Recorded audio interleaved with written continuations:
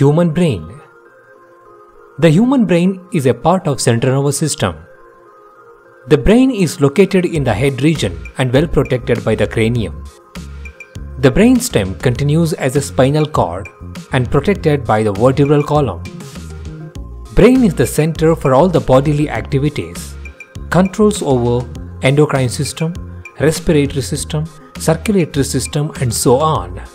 Brain is the largest and most complex organ in the human body and weighs about 1.2 to 1.4 kg. The entire brain is composed of a complex network of neurons.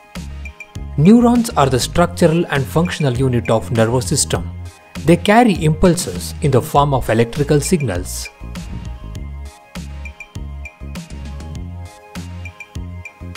Human brain has three major parts forebrain, midbrain, and hindbrain.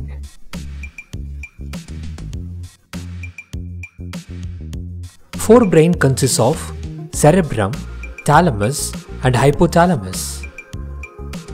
Cerebrum is the major and largest part of the human brain. A deep cleft divides the cerebrum longitudinally into two halves and termed as left and right hemisphere. Both the hemispheres are connected by a tract of nerve fibers called corpus callosum.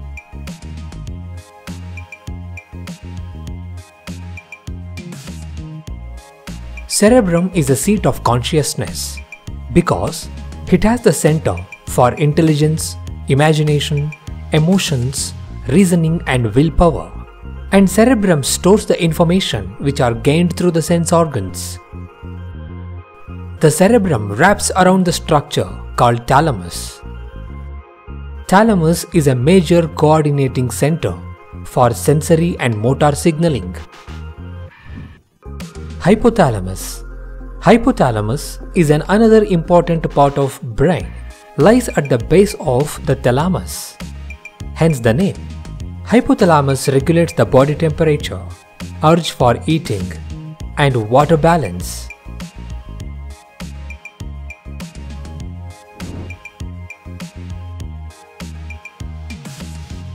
Amygdala and hippocampus, present in the inner parts of the cerebral hemisphere, forms a structure called the limbic lobe or system. It is involved in the regulation of sexual behaviors, expression of emotional reactions, and motivations. Midbrain is located between the thalamus of the forebrain and the pons of the hindbrain. The midbrain serves important functions in the motor movement, particularly movements of the eyes and auditory and visual processing. Hindbrain The hindbrain comprises pons, cerebellum, and medulla oblongata.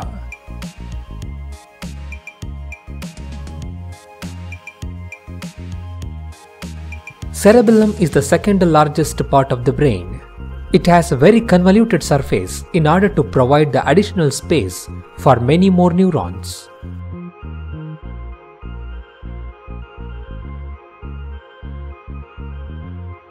Cerebellum controls and coordinates the movement of muscles while walking or running.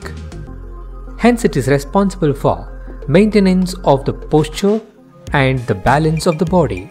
Riding a bicycle, holding a pencil, walking on a rope are some examples how cerebellum balance our body by the movement of muscles. Pons. It regulates mastication, facial expression, and respiration.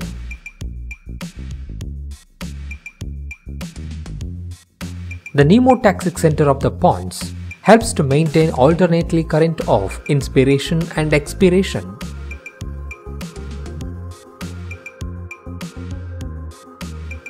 Medulla oblongata. Medulla controls most of the involuntary activities.